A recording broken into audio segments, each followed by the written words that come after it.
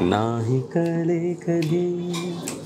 जीव वेडावला ओळखू लागलो. तू मला मी तुला नाही कळे कधी. गोड हुरहुरही श्वास गंधाळला ओळखू लागलो. तू मला मी तुला नाही कळे कधी. मी मूळ लातूरकर पण मी जेव्हा मुंबईत आलो मला वाटतं मला खाण्याबद्दलचं जे काही इंट्रोडक्शन होतं ते सगळं निलेशनी केलेलं आहे. आणि आय एम हॅपी की छान त्यामुळे मला एक इकडचा फ्लेवर जो असतो मुंबईचा आणि खाणं ते एक छान एन्जॉय करणं. हे मी निलेशकडून शिकलोय. गाणे नवे सु सूर वाऱ्याचे हात हाती साऱ्याचे. भूल भुलैया कुठला कुठले ही रसते? आपुल्या पाशी येईल जे आपुले असते. तर मला असं वाटतं अंकिता खूप जण आम्हाला असं म्हणतात की ह्या क्षेत्रामध्ये कामानिमित्तच तुम्ही मित्र बनता किंवा काम हवं असेल म्हणून मित्र. पण मला असं वाटतं मी गाणं म्हणजे मी मित्र झालो निलेशचा त्यानंतर तीन वर्षांनी निलेशने मला पहिलं गाणं दिलं. नाही लगेच नाही दिलं. मला ना ऍक्च्युली टेनिस प्लेअर व्हायचं होतं. ऐक पण ते समोर जमलं नाही कारण मला टेनिस थोडं उशिरा समजलं. बाय द टाइम ते शिकण्याचं वय निघून गेलो होतं माझं. हॅलो हाय नमस्कार. मी मज्जागल अंकिता लोखंडे. फ्रेंडशिप डे आहे. तुम्हा सगळ्यांनाच हॅपी फ्रेंडशिप डे आणि फ्रेंडशिप डे म्हटल्यानंतर कुठे यायचं आणि कोणासोबत सेलिब्रेट करायचा हा प्रश्न मला पडलेला. पण उत्तर तुमच्यासोबत आहे. कसे आहात तुम्ही दोघं? मस्त? मी खूप मस्त आहे आणि मी सगळ्यात आधी पहिल्यांदा आय एम सो सॉरी आधीच म्हणते. कारण या एपिसोडमध्ये मी खूप गाणी ऐकणार आहे आणि तुम- तुम्हाला मी खूप त्रास देणार आहे. एक- मम्मा मम्मा झालं पाहिजे ना. सो कसे आहात आणि किती छान आहात? मस्त. छान आहोत आणि आज असं निमित्त तू शोधून काढले सांगिता हो, to त्यामुळे येस इट्स मज्जावर येऊन आज आम्ही मज्जा करणार हा. खूप मस्त आणि आमच्याकडे व्हेज थाली आहे आमच्याकडे नॉनव्हेज थाली आहे. आम्ही सगळं एकत्र खाणार आहोत. आणि किती फुडी आहात आणि किती काय म्हणतात किती भूक लागली? भूक भरपूर लागली पण येस फुडी किती आहात? मला वाटतं याचं श्रेय मी आता जो काही जरा फुडी आहे सगळीकडे तुम्ही बघत असता त्याचं श्रेय मी माझे मित्र निलेश मोहरीर यांना देईन.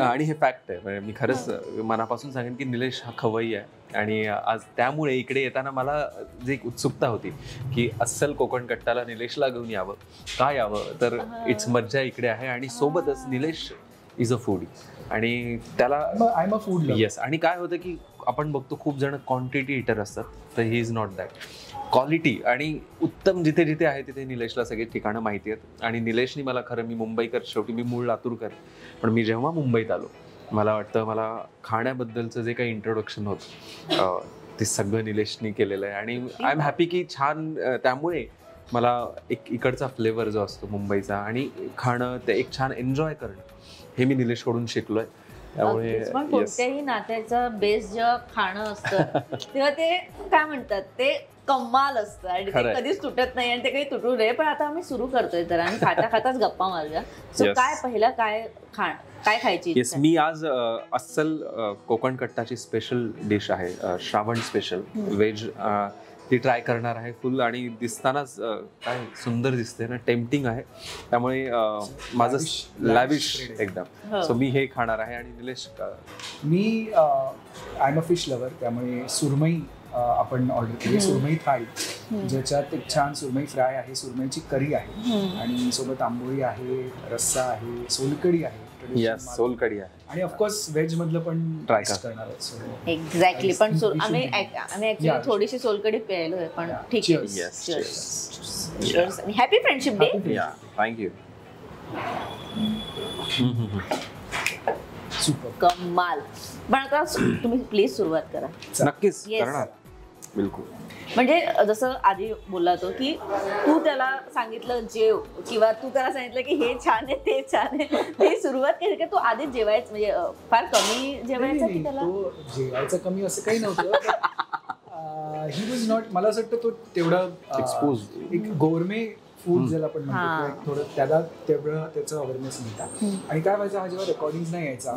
तेव्हा माझ्या रेकॉर्डिंगला जनरली खूप असं काय काय मागवतो? हा. माझे सिंगर्स येतात. येस प्रोड्युसर्स असतील As I said- म्युझिशियन्स असतात. ही इज फूडी सो स्वागत निलेश फूड हा, फूडनी काहीतरी गोरमे हा. असं काहीतरी मागवतो छान खायला. ज्यांनी सगळ्यांचा एक मूड बनेल. ते पेस्ट्रीज असतील. हो. हा, असं काही काही म्हणजे if you come to my recording you will be treated treated with गायक व्हायचंय का तुला? गायिका हो व्हायचं इथपर्यंत आलेलो मी नंतर. You will be treated with chocolates pastries किंवा बेसिकली स्नॅकिंग चालू अच्छा. सो ते त्याच्यात मला वाटतं त्याला कुठेतरी ती हे झालं ही गॉट इंट्रोड्यूस हम्म. मग तो लक्ष द्यायला लागला तू काय मागवतोस कुठून मागवतोस काय? ही स्टार्टेड इट खूप मस्त. पण एक ना ओके सो माझं पण जेवण आलंय. म्हणजे वाव मी का मागे राहू? येस क्या बात. वा वा so have to mention this. Super पण इकडचं जेवण मी पर्सनली रिकमेंड प्रत्येकालाच करते. मला इकडची मला फिश पण आवडते. व्हेजही तितकंच छान आहे आणि मला चिकनही फार आवडतं. येस सो अगेन पण एक असतं ना प्रत्येकाचा एक वाईब मॅच व्हावी लागते. म्हणजे मला आता तुझी वाईब आवडते. सो मी तुझ्याशी जरा जास्त बोलेन. मग त्याची वाईब आवडते. सो हा ट्रिगर कुठे झालं की अरे हा मला छान मित्र बनू शकतो की अरे हा माझ्यासारखाच आहे? आमचं ऍक्च्युली वाईफ ट्रिगर झाली ती मला वाटतं कामातूनच म्हणजे कारण मी आधी मंगेशला जेव्हा तो सारेगामामध्ये होता तेव्हा I just knew him as a singer आणि तो मला एक कंपोजर म्हणून ओळखत होता. बट जेव्हा स्टुडिओत भेट झाली आणि त्याच्यानंतर हळूहळू जसजशी गाणी झाली आहे तस तसं एक थोडंसं एक सिमिलर टेस्ट किंवा सिमिलर थिंकिंग म्हणजे असं आम्हाला लक्षात आलं की आम्हाला दोघांनाही एकसारख्या काही गोष्टी आवडतात. त्याच्यात एक सगळ्यात मोठा फॅक्टर होता टेनिस मी पण टेनिस फॅन आहे आणि तो पण तेव्हा टेनिस बघायला सुरुवात केली होती. दोघंही रॉजर फेडररचे भक्त होते. तर आहोत. आम्ही आहोत. आणि त्याच्या तिथून एक कॉमन. काहीतरी लागतं. आणि मला कनेक्ट येस डेफिनेटली हे तर या गोष्टी आहेत पण मी सुरुवातीला मी सांगेन की मी सारेगमपत आलो सगळ्यांनी गाणं ऐकलं सगळं झालं. खूप सगळ्यांचं प्रेम होतं पण अशा वेळी एक गायक म्हणून जेव्हा मी मुंबईत स्थायिक झालो करेक्ट करेक्ट तेव्हा मी जे संगीत ऐकायला लागलो मला आठवतं आजही कुलवधू सिरियल होती आणि त्यात एक रोमॅन्टिक गाणं निलेशनी केलं होतं. आणि ते गाणं होतं think, हम्म, गाणे नवे सु सूरवाऱ्याचे. हात हाती साऱ्यांचे. भूल भुलैया कुठला कुठले ही रसते. आपुल्या पाशी येईल जे आपुले असते. हे गाणं लागलं. एक मिनिट हे कोण कोण केलंय हे गाणं? काय कारण तो मालिका होती त्यामुळे त्या स्टाईलनी पिक्चरायझेशन चाललं होतं पण माझं लक्ष त्या गाण्याकडे. म्हटलं कोण आहे हा संगीतकार? आणि मी तिथे शोध लावला म्हणजे हे निलेश मोरेचं गाणं आहे. क्या बात आहे काय बनवलं यार गाणे मी फ्रँकली मी तिथे फॅन झालो निलेश म्हटलं आम्ही निलेशची आभासा वगैरे गाणी ऐकली होती. पण येस ती आवडायची पण हे गाणं ऐकल्यानंतर एक ट्रिगर असतो ना की नाही हा काय काय गाणं केलं यार आणि मी तिथून माझा शोध सुरू झाला की निलेशला मला भेटायचं कधीतरी. पुढे एका कार्यक्रमात मला वाटतं पत्की काकांच्या अशोक पत्की काकांचा मोठा सोहळा होता. तिथे निलेशही आला होता मला माहीत नव्हतं पण आम्ही प्रोग्राम झाल्यास आम्ही स्टेजवर गेलो आणि तिथे निलेशच्या आई मला भेटल्या. आणि त्या त्यांनी खूप माझं कौतुक केलं प्रेम के- प्रेम दिलं मला. आणि मी म्हटलं बरं हे सगळं आहे पण निलेश मोहरी आलाय का इथे? आणि हो आलाय निलेश आहे समोर. म्हटलं प्लीज मला थांबा मला त्याला भेटायचं आहे आणि मी लिटरली निलेशला भेटलो ॲप्रिशिएट केलं मनापासून म्हटलं निलेश मी फॅन आहे आणि मी रिसेंटली हे गाणं ऐकलं भेट होती ती पहिली भेट होती. मला आजही आठवतं. Best friend you can say it yes yes as an artist Nileshwar मी अ, जेव्हा निलेशचं काम ऐकलं निलेशनी मला सारेगमपत बघितलं. पण मी जेव्हा निलेशचं काम ऐकलं तेव्हा मी डेफिनेटली निलेशचा निलेशच्या गाण्यांचा चाहता झालो. आणि तिथून तो प्रवास सुरू झाला आणि मी निलेशला ॲप्रिशिएट केलं. म्हणलं खूप छान आहे निलेश तुझं संगीत मला खूप आवडतं. त्यांनी तेव्हा काहीतरी माझं कौतुक केलं की हो छान आम्ही बघितलंय मी तुला सारेगमपमध्ये छान गातोय सगळे. येस भेटू आपण. असं म्हणून आमची जस्ट क्लोज तिथे काही झालं नाही. मला वाटतं पुढे एक दीड महिन्यानंतर मी बझिन स्टुडिओला आलो. आणि अं, त्या काळात निलेशचं काम बझिन स्टुडिओमध्ये जोरदार चालायचं. आणि मला माहीत नव्हतं निलेश तिथे आहे. आणि जस्ट वॉकअवे आमची अशी भेट झाली. आठवतं आणि तिथे मग अरे क्या बात आहे तू इकडे कसं काय?" अशी ती भेट आठवते आणि तिथे मला जाणवतं. मला आठवतंय मी. काहीतरी एक ऍड करत होतो. या. त्या ऍडमध्ये एक काहीतरी पोर्शन होता. जो कोण गाईल कोण गाईल असं. आणि मंगेश मला तिथे भेटला आणि मी त्याला जस्ट एक मिनिट चल आपण एक व्हॉइस टेस्ट करूया. हा. तो भरायला माईकवर आणि मस्त गायला. दॅट वॉज अवर बिगिनिंग म्हणजे त्याच्यानंतर एक मला आठवते तुझी सख्यारी नावाची सिरियल आम्ही केली होती. स्टार प्रवाहावर खूप सुप्रसिद्ध मालिका हा त्याचं टायटल सॉन्ग खूप पॉप्युलर झालं होतं आणि that was a musical serial म्हणजे त्याच्यात पहिल्यांदा जे निर्माते होते हो. त्यांनी गाडी इंट्रोड्यूस केली होती सिरियल आणि ही मालिका अं, तेव्हा चालू होत्या दोन्ही मालिका जोरा तर त्याच्या गाण्यांसाठी त्या हिरोसाठी मंगेशचा आवाज तेव्हा सगळ्यांना आवडला आणि योग्य वाटला. आणि तिकडून सुरुवात झाली रेकॉर्डिंग यु नो एकत्र व्हायला आणि मग तो यायचा गायला तिकडून हळूहळू हळूहळू आणि या आणि तू जसं म्हणायस की वाईट तुम्हाला कसं मला. वाटतं आपल्याला जाणवतं हो, की हो. कोण आपला. मित्र हो. बनू शकतं कुणाला आपलं आपल्याला कुणाच्या वागणं कुणाची स्टाईल पटते छान वाटते त्याच्यासोबत मित्र म्हणून एक सहवास जो असतो तो आपल्याला आवडत असतो तर. मला असं वाटतं निलेशच्या ज्या आवडी होत्या आणि मी लिटरली अठरा वीस वर्षाचा तेव्हा होतो त्यामुळे मी एकदम काय म्हणतात त्याला अल्लड आपण म्हणतो ना की गोंधळ घालणं किंवा हे ते- तेव्हा हे. आम्हाला असं कंट्रोल करायचं. हा. जरा शांत. हे कोणी मला मिळालं नव्हतं. पण असं जाणवतं की असा मित्र असणं की जो तुम्हाला हे कॅन कंट्रोल यू आणि छान वेनी तुम्हाला प्रेझेंट करू शकतो की हा. way. In a good way yes कारण आम्ही आगाव होतो. आम्हाला सगळं मला आठवते पण निलेशचं मला एक ते जाणवायचं की त्याचा ग्रेटनेस आहे की लहान त्याच्यापेक्षा लहान जे सगळे आता मी लहान आहे निलेशपेक्षा पण कुठेही अंतर किती आहे? आहेत दोन टास्क आमच्यात ऑलमोस्ट दहा वर्षांचं अंतर. हा. आता तुला आता तिला कोड पडली की नेमके यांचे वय काय? हा. ते जाऊ दे तो विषय आपण बाजूला ठेवू. पण मला असं वाटतं की किंवा आपण हे पण नको सांगूया की दहा वर्षांचं तर कोण मोठं आहे कोण कोण लहान आहे. ते कोण झालं लहान ते झालं नाही, ना नाही. ते. नाही पण ते नाही आता रिमाइंड करावं लागेल लोकांना पण सांगणं हे त्याचा अर्थ- का म्हण म्हणालो मी हे की एवढा असताना पण तो फिलिंग जर तुमच्यामध्ये ते फिलिंग येऊ देत नसेल मित्र आणि ते. जाणवतच नसेल करेक्ट करेक्ट तर मला मला वाटतं हीच तर मैत्री आहे. म्हणजे इथेच ती वाईब असते की अरे मला नाही जाणवत यार याच्यासोबत राहताना की असं काहीतरी आहे. आम्ही काय असं अजेंडा हा. म्हणजे की आता आपण मैत्री करूया आता. असं काही नाही ते नॅचरली हो, गोष्टी घडत जातात की तुम्ही एकत्र काम करता. मग काही मग कुठेतरी एकत्र तुम्ही डिनरला डिनरला जाता. You attend some events together मला आठवते आम्ही किशोरी ताईंच्या हो. कॉन्सर्ट्सना बरेच वेळा भेटायचो कारण तो किशोरी ताईंकडे शिकत होता. आणि हा योगा- बाय डिफॉल्ट तो त्या इव्हेंटला असायचा.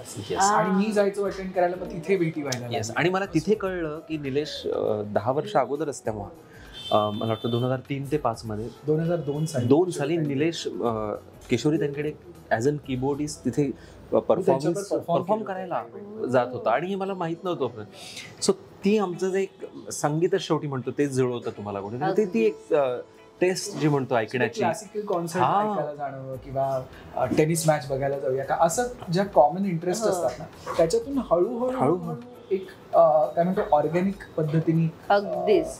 आणि म्हणूनच ऑर्गॅनिक पद्धतीने आम्ही कोकण कट्ट्याला भेटलोय. येस आणि तुम्हाला ऑर्गॅनिक ऑर्गॅनिक पद्धतीने खाऊया. खाऊया जरा. प्लीज आम्हाला खाऊ द्या. फिश वाट बघते. Yes. बाकी काही नाही जेवण येस चला. तर मला असं वाटतं अंकिता खूप जण आम्हाला असं म्हणतात की ह्या क्षेत्रामध्ये कामानिमित्तच तुम्ही मित्र बनता किंवा काम हवं असेल म्हणून मित्र. पण मला असं वाटतं मी गाणं म्हणजे मी मित्र झालो निलेशचा त्यानंतर तीन वर्षांनी निलेशने मला पहिलं गाणं दिलं. नाही लगेच नाही दिलं. जस्ट इमॅजिन म्हणजे ती खासियत की आम्ही तो अर्थ. घेऊन. की आपण काहीतरी काम करूया ना मग मित्र. आमची आवड पहिले आम्ही छान मित्र झालो. आणि निलेशची स्टाईल अशी मी सगळ्यांना म्हणत असतो की जर त्याचा शत्रू असेल कोणी कोण नाही आहे पण असेल तर तो जर त्याला गरज पडेल त्या गाण्यात तर तो त्याला फोन करून बोलवेल. प्लीज मला तुझा आवाज इथे हवा इट इज लाईक दॅट त्यामुळे निलेशनी तुम्हाला गाण्याकरता निवडणं किंवा त्या व्हॉइस करता हे मित्र म्हणून तो कधीच करणार नाही. पण एक एक असतं ना की माझ्या मैत्रिणीला समजा एखादा व्यक्ती नाही आवडत तो मला पण नाही आवडत काहीतरी असं रे असं झालंय कधी? नाही नाही नाही, आमची फ्रेंडशिप असं ऍक्च्युली सांगू का? टू बी व्हेरी ऑनेस्ट हा. आमची ती ही दोस्ती तुटायची नाही वाईट बरी फ्रेंडशिप नाही. इट इज अ व्हेरी म्हणजे काय आपण म्हणतो न्यू एज Modern जिथे you respect each others boundaries आणि असं नसतं की आम्ही अगदी रोज वी आर इन टच. आणि अगदी रोज बोललंच पाहिजे आणि असं काही नाही आहे. अरे. फ्रेंडशिप इज मोर म्हणजे वर्क कल्चर ओरिएंटेड फ्रेंडशिप आहे जास्त. आणि जेव्हा टेनिस मॅचेस वगैरे असतात तेव्हा मी वी ट्राय की यु नो आपण एकत्र भेटून फायनल बघूया. तसं आहे. Is like म्हणजे- we don't impose each other on you know Yes, मला असं- एकमेकांवर इम्पोज करणं किंवा एकमेकांच्या चॉईसेस मध्ये इंटरफिअर करणं किंवा एकमेकांच्या फ्रीडममध्ये इंटरफिअर करणं असं it is not that kind of आणि मला वाटतं मॉडर्न जे रिलेशन्स आहेत आता आपल्या. फॅमिलीमध्ये पण मी माझा सख्खा भाऊ आहे त्याला मी त्याची जी स्पेस असते माझी जी स्पेस एक मेंटेन आपण नॅचरली करतो आजकाल असं ती व्यक्त करायची पण गरज नाही. इट इज लाईक दॅट मी आय कॅन इमॅजिन निलेश सध्या काय करत असेल ओके तो बिझी असेल मी आय विल नॉट डिस्टर्ब मग कधी असं असेल आय नो की आता आपण आम्ही छान एकत्र येऊन एन्जॉय करू शकतो. आणि तेव्हाच बरोबर ते कुठेतरी आमचं फोन किंवा काहीतरी चालू असतं. मॅचच्या चर्चा आमच्या फोनवर चालू असतात. ह्याने काय केलं त्याने काय केलं. सो मला वाटतं मोर दॅन फिल्म इंडस्ट्री किंवा म्युझिक ते तर आहेच पण more than that as an human आमचं एक छान ट्युनिंग आहे त्या बाबतीत की छान खेळणं. निलेश उत्तम टेनिस खेळतो तो सत मी खेळत नाही मी चाहत आहे पण हा खेळत असतो रेग्युलर इंट्रोड्यूस मी मला म्हणजे त्यांनी गौरव घाटणेकर तसा मित्र आहे. ओके हो. गौरव प्लेस टेनिस हा. सो त्यांनी माझा आणि गौरवचा कनेक्ट करून दिला. तरी तू पण टेनिस खेळतो तू पण टेनिस खेळतो वाट- आणि त्याचं झालंय असं की आता मी आणि गौरव टेनिस खेळतोय. आणि मी आणि आम्ही हा येत नाही. त्यामुळे असं so that is this kind of a friendship की असं आम्ही काही खूप काय म्हणतो डेली आम्ही एकमेकांना भेटतो किंवा असं असं नाही आहे. ऑर्गॅनिकली जशी भेट होते तसं आम्ही भेटतो. कामाच्या निमित्त बेसिकली आम्ही जास्त कामाच्याच निमित्ताने भेटतो. पण आमच्या मॅक्सिमम भेटी या स्टुडिओतच होतात. खूप मला वाटतं दॅट कनेक्ट इज देअर की we can feel each other की ओके निलेशला काय म्हणायचंय? काही आता वेळ असेल तर आपण काय करू शकतो? तो त्या चॉईस आता भरपूरदा असं होतं. Nilesh is like Batman Superman fan आणि. आय एम लिटरली नॉट म्हणजे मला काहीच त्यातलं हो. अं, माहितीही नाही आणि कळत नाही आणि मी जसं म्हणाल मी मूळ लातूरकर असल्यामुळे तिकडे ती वाईब्सच नव्हत्या. हॉटेलिंगचं पण मी म्हणालो की मला आजही जर तुम्ही मेन्यू कार्ड दिला तर मला मागवता येत नाही आणि मी टोटली त्याचं क्रेडिट यांना देईल. मला मागवता नाहीये त्याचं. कारण निलेशची ती जी उत्सुकता असते की अरे थांब थांब. हा. तू नाही पण जेव्हा निलेश आला तेव्हा त्याने पहिल्यांदा मला जरा मेन्यू कार्ड देतात त्याने मेन्यू कार्ड बघितलं त्याने हा छान आहे हा मेन्यू कार्ड मग त्याने सगळ्या गोष्टी एक एक करून विचारल्या. हो. Being a director it comes with the territory बरं आता जरा आम्ही खातोय. बरं टेनिसचा विषय सुरू होता. तर हे लहानपणापासून वेळ आहे की एकमेकांच्या आयुष्यात आल्यानंतर हे? मला लहानपणापासून वेळ आहे. हा. आणि मी बघायचो आणि मला वाटतं त्याला he was more of a cricket lover hmm. आणि मी अजिबात काही टेनिस सोडून दुसरा कुठलाही स्पोर्ट एवढा फॅन नाही आहे टेनिसचा जो मी त्याला विचारल्यावर त्याला थोडीफार माहिती होती पण तो खूप हो. बघायचा नाही माझ्यामुळे मला वाटतं तो जास्त हा मला असं मी फेडरलचा एक फॅन होतो पण ज्या प्रकारे Nimo is a die hard fan म्हणजे. स्टेफिग्राफ हिज आयडल हे सगळं मी जेव्हा ग्राफ पीट सॅम्पल्स हे माझे लहानपणी मी खूप वेळा होतो. आणि ह्याला कुठली मॅच बद्दल किंवा मी टेनिसबद्दल काही क्वेरीज विचारायचो फोनवर सुरुवातीला. की हे असं काय? मग आता असं काय झालं? तर म्हणायचं थांब मी तुला सांगतो. आणि त्याचं एक्सप्लेनमेंट ओ क्या बात आहे यार. एकदम आणि त्यामुळे मी सॉर्टेड असायचो काही विचारायचं असेल. मग निलेशला तर काही मॅचेस पाठ आहेत विथ कुणी किती शॉट्स मारल्या मग काय झालं मग त्याचे scope? It is like that आणि मला वाटतं त्यामुळे मला ना ऍक्च्युली टेनिस प्लेअर व्हायचं होतं पण ते समोर जमलं नाही कारण मला टेनिस थोडं उशिरा समजलं. बाय द टाइम ते शिकण्याचं वय निघून गेलो होतं माझं. अगदी कारण तुम्हाला टेनिसमध्ये जर खूप काही मोठं करायचं असेल तर तुम्हाला चौथ्या पाचव्या. वर्षापासून शिकायला हो. हो सो मी दहा वर्षाचं झाल्यानंतर I was introduce to tennis त्यामुळे मला समाप्ती नाही करता आलं बट असं एक इच्छा होती की टेनिस मॅच जाऊन आपण बघितली पाहिजे हो कारण आपल्याकडे इंडियामध्ये तेवढं tennis is not a big. Sport त्यामुळे खूप इंटरनॅशनल मॅचेस आपल्याकडे होत नाही सो कुठे जाऊन बघायचं? कुठे जाऊन बघायचं? मला तेव्हा, हा. एकदा सुचलं मी म्हटलं की see I am planning to go to Dubai हा. आणि दुबई ड्युटी फ्री ओपन मला बघायची तिथे रॉजर फेडरर येतो नोवॅक जोकोविक येतो. मला ह्या लोकांना लाईव्ह बघायचं सो आर यू इंटरेस्टेड तर तू चल माझ्या हा हा. आणि तेव्हा असा एक योग जुळून आला होता. मला आठवत आहे दोन हजार तेरा साली आम्ही दुबईला गेलो. दुबई ड्युटी फ्री ओपन बघण्यासाठी. ओके. आणि तेव्हा योग असा जुळून आला की माझी फिल्म रिलीज होत होती जय महाराष्ट्र हम्म, त्यांनी डिरेक्ट केली. आणि तेव्हा त्याचा प्रीमियर होता दोहामध्ये ओके. आणि अभिजित खांडकेकर गेलो होतो तो प्रीमियर अटेंड करायला. आणि त्याला लागून दुबई ड्युटी फ्री त्या कारखानमध्ये लगेच सुरू होतं. सो मी ते लगेच प्लॅन केला की see I am going to Doha मी तिकडून दुबईला जाईन टेनिस बघायला. आणि तू इकडून तू असं ॲग्रीड आणि आम्ही जाऊन दुबईमध्ये रॉजर फेडरर आणि नोव्हॅक जोकोविकच्या चार पाच मॅचेस लाईव्ह बघून आलो. म्हणजे मला असं वाटतं आमच्या मैत्रीमधला तो एक इतका कमाल तो काळ होता. Actually Exactly. जास्त हो, कनेक्ट हो. सुरू झाला. हा. Because when you travel together आणि you know you spend time together मग तेव्हा जास्त तुमचा एक कनेक्ट होतो. आणि तिथे लाईव्ह तुम्ही जर फेडरर बघताय जोकोविच बघताय. आणि सोबत निलेश आहे. कारण ते सगळे डिटेल्स की काय आहे स्टॅक्स काय आहेत काय झालं पाहिजे. आणि मला वाटतं सलग चार ते पाच दिवस आम्ही ती सगळी टुर्नामेंट एन्जॉय केली. फर्स्ट रो मध्ये होतो आम्ही. त्यामुळे फेडरर वगैरे असे आम्ही लिटरली लाईक म्हणजे असे बोलतायत वगैरे ते काय काय चाललंय त्यांचं. आम्ही टोटली त्यांच्यात एनग्रॉस होतो पूर्ण. आणि त्यासोबत मग फूड टूर तिथे असेल तर मग निलेश असल्यामुळे मग आम्ही ते पण केलं. आजूबाजूला सगळं दुबईचं माहोल एन्जॉय करणं. आणि असं चालू असताना मला जाणवतं की एक छान ट्युनिंग आमचं तिथे अजून वन स्टेप आहे एक छान मैत्री आमची बहरत गेली असं म्हणू शकतो. आणि गाण्यातून तर ते चालूच होतं. इकडे पॅरल आम्ही काही गाणी पण अशी झाली त्या काळात. मला वाटतं जी आजही रसिकांच्या मनात पण आहे अगदीच मगाशी आभासहाचा विषय निघालाय. तर मला ते गाणं ऐकायचं. कारण का ते फार फार फेवरेट आहे. आणि काय म्हणतात ते गाणं ऐकून मी अं, माझ्या टीन प्रेमात पडली. गाण्याच्या पडले question. गाण्याच्या ओके सो गायलाच पाहिजे हो कधी दूर दूर कधी तू समोर. मन हरवते आज का काहे कसे होते असे ही आस लागे जीवा. कसा सावरू मी आवरू ग मी स्वतः. दिसे स्वप्न काहे जगता नाही मला हम्म, आभास हा. आभास हा छळतो तुला छळतो मला। आभास हा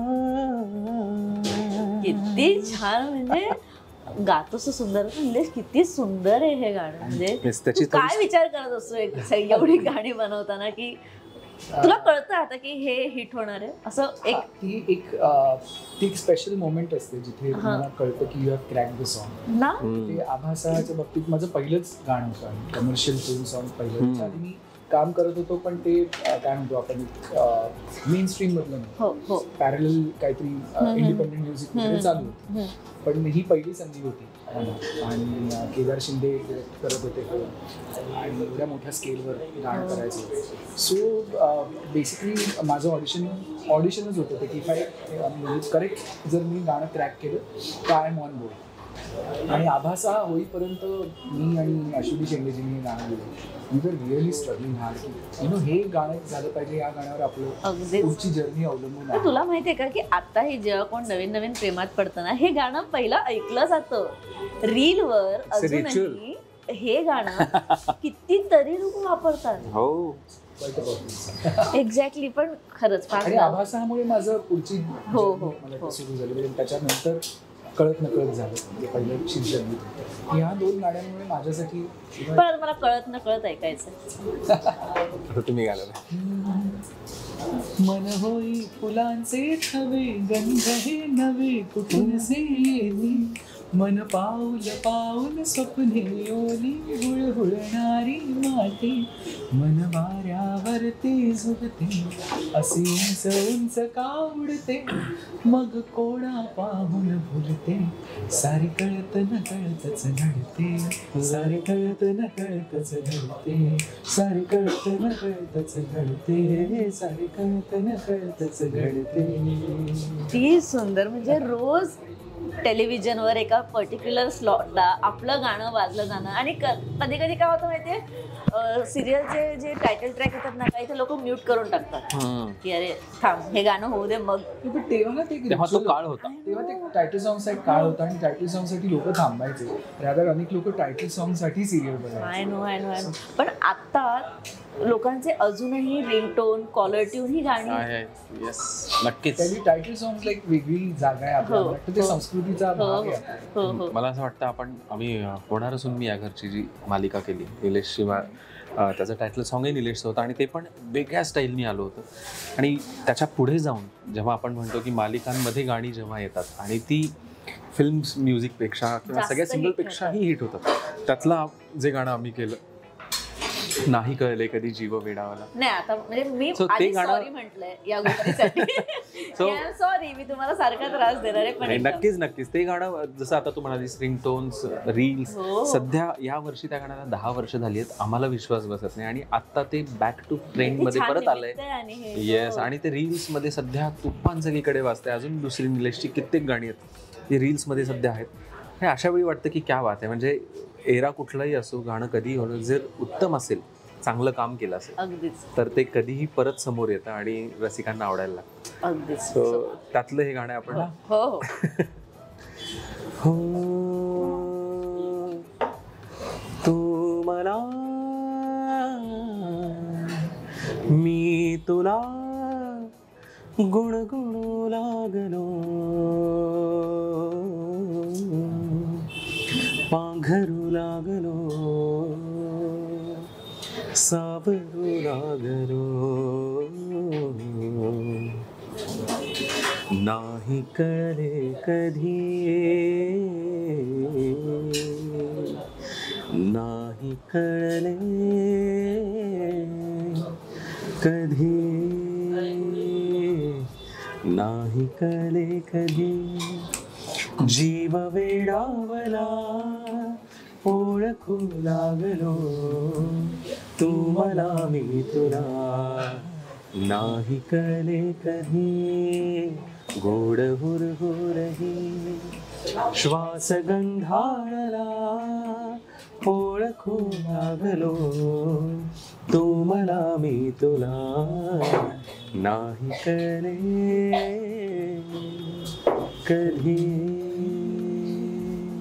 हे छान म्हणजे हे झालंच. पाहिजे आणि मला ना एक खूप प्रश्न असतो नेहमीच एखाद्या म्युझिशियनला किंवा त्या फील्डमध्ये काम करणाऱ्या प्रत्येकाला की एखादं गाणं बनवलं की एखादं गाणं गायलं ते हिट झालं त्याच्यानंतर एक असा विचार येतो का मनात की अरे मी ते हे करू शकलो असतो यार. हे जास्त झालं असतं असं कधी झालंय तुमच्यासोबत नाही एकदा त्या क्रिएशनमध्ये मी एवढा इन्व्हॉल्ड असतो ना की. एकदा ते झाल्यावर त्याच्यात अजून काही वेगळं झालं असतं असं नाही वाटत पण त्याच्या पुढचं गाणं आता काय आहे.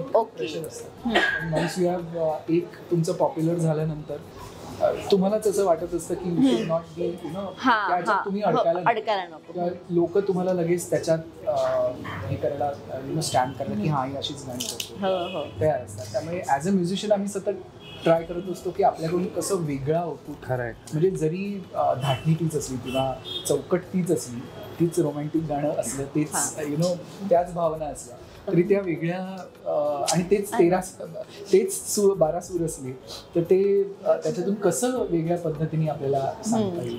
ह्याचा एक धडपड खूप असते. पण आणि मला वाटतं गायक म्हणून आम्हाला जाणवतं पण की आम्ही अजून काय करू शकलो असं. संगीतकार कारण ते टोटली आम्हाला पुढे हो. देतात स्वातंत्र्य असतं आणि रेकॉर्ड करतात. भरपूरदा नि- निलेशची गाणी आम्ही गातो. त्यानंतर खूपदा मला असं फील होतं की अरे इथे आपण असं केलं असतं का? हा. पण मला वाटतं ती मजा आहे त्या चालीची की तुम्हाला अजून नंतर सुचायला लागतं अजून, की Exactly. आपण इथे अजून एक्सप्लोर करू शकलो असतो.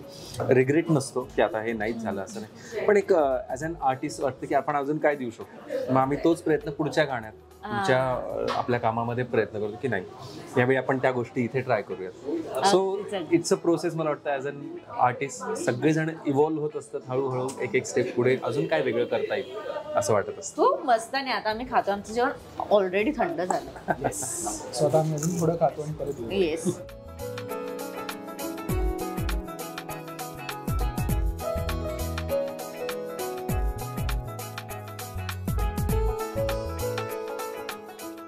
ओके सो इतक्या छान गप्पा सुरू आहेत. तर बघूया एकमेकांना किती छान ओळखता सो दोघांपैकी सगळ्यात जास्त अग्रेसिव्ह कोण? पटकन येतो राग. राग असं नाही बट काय म्हणून बट राग. बरं आमची पुरणपोळी आली. आपण एक पुरणपोळीला एक स्पेशल अपीरन्स येते आमच्या हा शो हा हा. पुरणपोळी आणि तूप. जे क्या इथे बात आल्यावर मस्ट ट्राय हा हा. आणि हॅव टू से ही कोथिंबीर वडी पण अप्रतिम आहे. येस खूप खुसखुशीत आणि एकदम मी ते त्यामुळेच मी मागवली तुम्हाला. टेस्ट करा. इट इज ओके हा Best. Aggressive of temper. Or anger but um, थोडंसं मी अं, जास्त ओपिनि ओपिनियनेटेड आहे असं मला वाटतं. त्यामुळे- आणि I try to impose my opinions मला वाटतं त्याला काहीतरी बोलायचं तो. वेट करतोय. बोल बोल. आज मस्त. संधी आहे. नाही मला असं वाटतं की तुम्हाला जे वाटतं ते बोलणं ही पण एक कला हा. आहे तर खूप जण जाऊ द्या आपण कशाला व्यक्त व्हायचं असं होतं. पण आय लाईक इट की निलेश त्याच्या स्टाईलनी बोलून निघतो. येस हे असं आहे. आणि पुढे मग ते कोणी ओके. कसं घ्यायचंय? सांगू काय? अग्रेसिव्ह इन व्हॉट सेन्स हा. म्हणजे I don't try to impose म्हणजे मी काही स्वतःला इम्पोज नाही करत माझी मतं नाही लागत. बट तू जसं म्हणालीस की आल्यावर मी पहिलं मेन्यू कार्ड बघून मी सांगू का काय मागवायचं so I try I like to take the lead हा ओके ओके. आणि- विच इज गुड आणि. अ, त्याच्या एकदम ऑपोजिट स्टुडिओमध्ये ते पण सांगायला बरं वाटतं. सगळे माझे सिंगर मित्र जे आहेत गायक मित्र ते अग्री करतील. येस मित्रमैत्रिणी म्हणतील की तिथे Nilesh is the calmest person म्हणजे तुम्हाला तो जो एक फ्रीडम आणि ते जे एक कॉन्फिडन्स असतो की संगीतकार शांत ऐकतोय आपलं. नाही तर काही वेळा आम्ही असा अनुभव घेतो की आम्हाला गाता येणार नाही इतकं ते अग्रेसिव्ह असतं. हा. हे असं करा हे तसं करा हे असं करा नाही तुम्हाला जमत नाही नाही असं करा.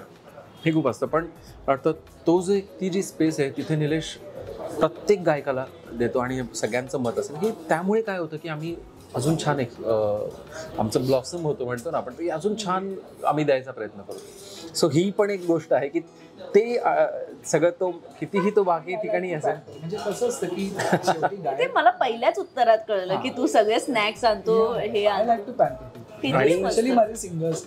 नेक्स्ट आपण इंटरव्ह्यू स्टुडिओ मध्ये आणि अंकिता थोडे दोन ओळी गा- गायला अंकिताला आपण लावूया. सो मला वाटतं तिथे तो जो माहोल झाला आणि बॅक टू इकडे आला की देन मग परत नेले. बरं दोघांपैकी ड्रेसिंग सेन्स छान कोणाचा आहे तुम्ही सांग. आता बोल बोल बोल तू बोल ड्रेसिंग सेन्स नाही. खूप फॅशनिस्ट आहे आणि अं, खूप फॅशन कॉन्शियस आपण ज्याला म्हणतो. मला वाटतं ते तो सगळं त्याच्या मला थोडं बोलायचं मग तुझं कंप्लीट झालं सारेगामाच्या त्याचं त्या मेकओव्हर जर्नीमध्ये मला वाटतं त्यांनी ते सगळं ते सगळं शिकून घेतलं. आणि नंतर त्यांनी इंडस्ट्रीमध्ये बरेच जणांचं फॅशन सेन्स सुधारवला. ज्याच्यापैकी एक मी पण आहे. Was not very conscious about you know की आपण काय कपडे घालतो तो मला खूप सांगायचा no no people look up to as a composer तू असंच जरा चांगलं प्रेझेंट कर स्वतःला असे कपडे घाल. Introduce me to various brands आणि माझ्यात ते होतं पण कुठेतरी मी ते असं साईडला ठेवून दिलं होतं. आय वॉज नॉट व्हेरी जसं ते फोकसमध्ये नव्हतं. माझं सतत काम काम काम काम काम आणि यु नो स्वतःकडे लक्ष नाही so he made me aware that way so I have to credit पण मी काल जेव्हा मंगेशला फोन केला जनरल सांगायला की काय घडणार आहे एपिसोडमध्ये मी इतके इंटरव्ह्यू केले मला कोणत्याच आर्टिस्टने हा प्रश्न विचारला. ड्रेस. कोड काय असणार? सुपर मी मी दोन मिनिटं झाली म्हटलं ड्रेस कोड मीच विचार करायला लागली की मी काय घालणार आहे उद्या? तर म्हटलं नाही नाही कंप्लीट कॅज्युअल आहे डोंट वरी काय नाही. मला असं वाटतं मंगेशचा मी त्याला नेहमी म्हणतो की तू जर असं काही कार्य करत असशील तर त्याच्यात आपण कसं इन्व्हिटेशन कार्ड छापतो सगळं. तर त्याच्यात बोल्ड लेटर्समध्ये पहिला ड्रेस कोड लिहिलेला असेल बाकी सगळं जाऊ द्या. काय इव्हेंट आहे वगैरे. ड्रेस कोड तुम्हाला काय असे प्रश्न विचारतो मी त्याला बोललो ना अच्छा काय आपण काय ड्रेस कोड काय? काय करायचं? व्हेरी इम्पॉर्टंट मला असं वाटतं गुड ऑब्झर्वेशन त्याच्यामागे एवढाच उद्देश की छान छान एक दिसलं. आनंद हो. घ्यायचा. आणि यांना पण हे सगळे हे म्हणतात मी सांगितलं पण हे सगळे अवेअर होतेच पण काय असतं एक जण मित्र असा लागतो ना एक जण अरे असं करूयात आपण चला तुम्ही इथे जाऊया तिथे शॉप करू. तर तो मी होतो की चला न्यू स्टाईल आली आपण ती ट्राय करू हे करू. आणि होतं काय की निलेश पण he can carry out so well म्हणजे इतकं छान त्या- त्याला कुठल्याही वेगवेगळ्या स्टाईल केल्या तरी सूट होतात सो असं वाटतं मी लकी आहे की असे मित्र पण आहेत की ज्यांना आपण म्हणू शकतो ना की येस आपण हे ट्राय करू. ट्राय करूया. आणि ते कुठेतरी ऍज अ बॉन्डिंग तिथे पण एक छान होतं की तुम्ही शॉपिंगला जाता. हो. आणि मग ते जे काही मजा चालू असते तुमची तर. तिथे आम्ही तो तो भाग पण आम्ही खूप एन्जॉय करतो. खूप मस्त. फोन एडिट कोण आहे? Complete iPhone iPhone complete my माझ्याकडे बघूच नका. हो. आहे. फोन ऍडिक्ट म्हणण्यापेक्षा त्याच्यात तुम्ही काही चांगल्या गोष्टी सांगेन की त्याला कुठलेही ऍप असेल ना हा. तर त्याच्या सगळ्या निटिग्रिटीज मंगेशला बरोबर असतात ओके म्हणजे इंस्टाग्रामवर how to use Instagram in a beneficial way म्हणजे आपल्याला नुसतंच त्याचं एक आपण बघतोय किंवा फक्त कंटेंट बघण्यासाठी नाही तर आपल्याला त्याचा कसा फायदा होऊ शकतो? आपण त्याचा कसा फायदा करून घेऊ शकतो? आपल्याला काय बेनिफिट्स होऊ शकतो हे सगळं तो खूप शिकून आणि मग तो ते सांगतो. He shares that is very but phone आणि तो म्हणजे they are inseparable that is a part of his body असे माय गुडनेस नाही नाही. मला असं वाटतं मला सगळेच म्हणतात की अरे तू फोन हे करतो. मला वाटतं आपण सगळेजणच त्यांच्या त्यांच्या वेळेने तेच करत असतो. फक्त आपण होतं काय की आता खूप जण गेम ॲडिक्ट असतात यु नो गेम खेळणं त्यावर खूप वेळ घालवणं. पण मला वाटतं जसं निमो म्हणाला मला ते आवडतं की ॲप्समध्ये काय छान आहे. तिथून काय छान एक्सप्लोअर करता येईल. आता आम्ही सध्या आम्ही गेल्या कित्येक काळात आम्ही तिकडून सजेशन्स घेतो की कुठे जायला पाहिजे खायला कुठे फिरायला जायला पाहिजे कुठे छान जाऊया आणि मला वाटतं एक बोलण्याचं माध्यमच आहे आता. तुम्ही वाया पिक्चर तुम्ही एकमेकांना मित्रांना बोलत असता. So in a good way मी वापर करतो. त्याच्यावरून मला कुठले सवयी व्यसनं नाही आहेत पण मी मगाचपासून बघते. तू ऐकते व मला ऐकू येत नाही. तू त्याला कोणत्या नावाने हाक मारतो? येस गोष्ट अशी आहे की निलेश मोहरीर असं निलेश मोहरीरांचं नाव आहे. मग आम्ही त्यात एक छोटी गोष्ट काढली की निलेशचा नी आणि मोहरीरचा मो मी मगाचपासून म्हटलं हा काय बोलतोय मला? निमो असं आम्ही. नामांकन केलेलं आहे आणि माझं पण बोरगावकर खूप मोठं असल्यामुळे हे सगळे मला मँगो म्हणून बोलवतात. So it's a nick name असं म्हणू शकतो निमो. आणि आमच्यासोबत अजून काही आमचे मित्र आहेत त्यात अश्विनी शेंडे गीतकार ती पण आम तर तिला आम्ही ॲश म्हणतो सगळे आणि तिने आमची ऍक्च्युअल नावं ठेवली आहेत ना तिने तिने काढली आहेत ना. सो तिला आज सो त्यातून आमचं मग निमो मँगो ॲश वगैरे असं सगळं चालू असतं. खूप मस्त. आणि हा फ्रेंडशिप डेचा एपिसोड होता. मला एक शेवटचा प्रश्न विचारायचा तुम्हाला की आपलं जे करिअर आहे किंवा आपण ज्या इंडस्ट्रीमध्ये आहोत ते स्टेबल नाही ना. आज काम आहे उद्या काम नाहीये किंवा इन्कम आपल्याकडे डेली बेसिसवर नाही किंवा मंथली नाहीये. एक काळ आपण पाहिलाय दोन वर्षांचा जिथे आपल्याकडे काम म्हणजे टॅलेंट असून पण काम करायला संधी नव्हती किंवा काम नव्हतं. अशा वेळेला मित्र म्हणून मंगेश किती उभं राहिले आणि अशा वेळेला मित्र म्हणून निलेश किती उभा राहिला? To be very honest by God's grace आमच्यावर अशी अजून वेळ नाही आली की यु नो म्हणजे आमचं काम थँकफुली लोकांना आवडते आणि- आणि आज आम्ही इंडस्ट्रीमध्ये we are a relevant force आणि आम्ही काम करतो. पण मला असं वाटतं अशी वेळ आली तर साधारण आपल्यासारखी माणसं एकमेकांच्या पाठी नक्कीच उभी राहतात. आणि मला असं वाटतं येस खरं आहे खरं आहे मला असं वाटतं अंकिता आजकाल फायनान्शियल उभं राहणं त्याहीपेक्षा पुढे सायकोलॉजिकली मेंटली तुमचा. मित्र. आणि मला आठवतं आम्ही कोविड काळात आम्ही केवढ्या गप्पा मारायचो आणि किती अशा विषयांना घेऊन बोलायचो की खरंच काय? हा. काय तेव्हा मग निमोचं जे ज्ञान आहे एक्स्ट्रा सगळं तर तो तो कुठले कोट्स घेऊन त्याचा उलगडा करणं की this is what it is असं आहे. असं करायला मी म्हटलं that is what we want की एक रिफ्रेशिंग आणि फ्रेश ॲटिट्यूड पाहिजे. आणि ह्याचं वाचन खूप आहे निलेश तर त्यामुळे अशा वेळी मग आम्हाला ते मिळून जातं. मला ते खूप छान वाटतं की तुम्हाला पैसा अडका ह्याच्या पुढे जाऊन काय हवं एक हवंय? Stability mental. स्टेबिलिटी स्टेबल असणं हा तो खरा काळ होता. आणि मला वाटतं तिथे जे तरले त्या काळात आपण लकीली आपण सगळे म्हणू की त्या मेंटली आपण जे शांत राहून पुढे आलो वाटतं त्यांना आता काहीही आलं तरी आपण एक स्टेबल असतो. विचार करतो की काय करायचं मग. मला वाटतं त्या काळात तो जो सा ती जी एक साथ होती आमची मित्र म्हणून एकमेकांना चालू होती आणि that is what we want म्हणून वाटतं. मला वाटतं इमोशनली तुम्ही हा. जास्त महत्वाचं असतं. आणि फ्रेंडशिपचं मला वाटतं खरं हे असतं लक्षण की फ्रेंडशिप म्हणजे तुम्ही तुम्हाला जे येतंय ते तुम्ही शेअर केलं. दॅट इज ट्रू फ्रेंडशिप की आपलं आणि शेवटी आपण शेअर काय करतो? ज्ञान. ज्ञानानेच आपण मोठे होतो आपल्याला नवीन काहीतरी समजतं. आपल्याला जे येत नसतं त्यातला काहीतरी हो. आपल्याला येऊन जातं की आपली त्या दिशेने आपली एक करेक्ट वाट करेक्ट करेक्ट सो ते मला वाटतं शेअर करणं दॅट इज रिअल बॉन्डिंग खरं आणि ते मला वाटतं आमच्यात होत असतं ऑर्गॅनिक त्यामुळे मी खूपदा निमोला म्हणत असतो. फ्रेंड्स फिरा समोर गाईड प-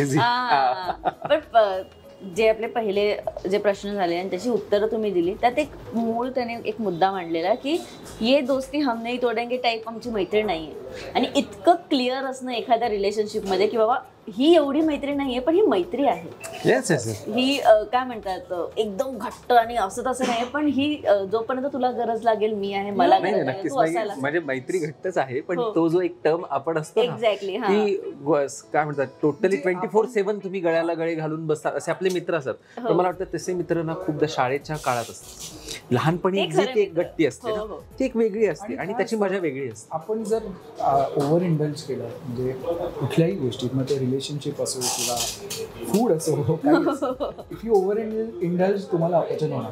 सो हो, त्या बाउंड्रीज आणि ते तुम्ही लक्षात ती स्पेस ठेवणं प्रत्येक रिलेशनशिपला that is that leads to success आणि या एपिसोडमध्ये दोन मित्र नव्हते या एपिसोडमध्ये तीन मित्र होते कारण का याने इतकी साथ दिली आहे या जेवणाबद्दल. काय सांगाल? आणि.